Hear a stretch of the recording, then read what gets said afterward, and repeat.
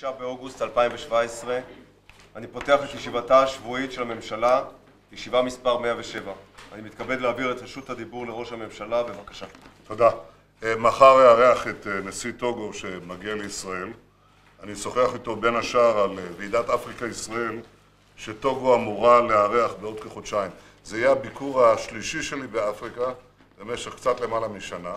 תחילה במזרח אפריקה, אחר כך במערב אפריקה, ועכשיו ועידה כלכלית טכנולוגית למדינות אפריקה במטרה ברורה להחזיר את ישראל לאפריקה בגדול.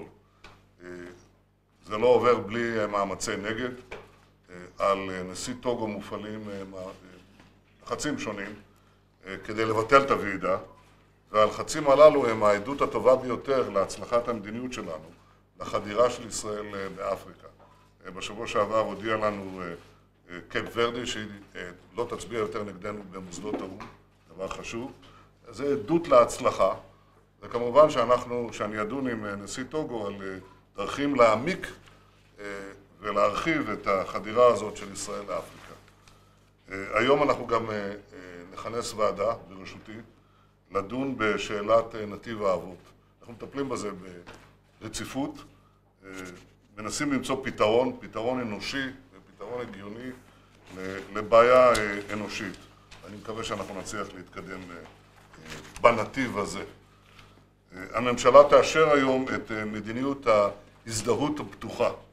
הכוונה לתת שירות טוב יותר לאזרח דרך הטלפון, דרך הטלפון הסלולרי, דרך המחשב, בידיעה שמדובר באותו אזרח ולא במישהו אחר.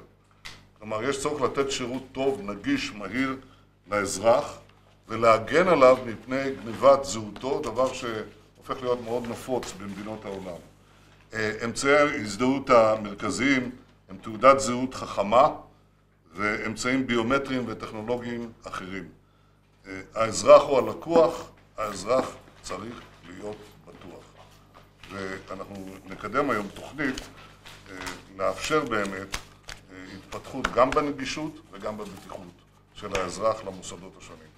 תודה רבה.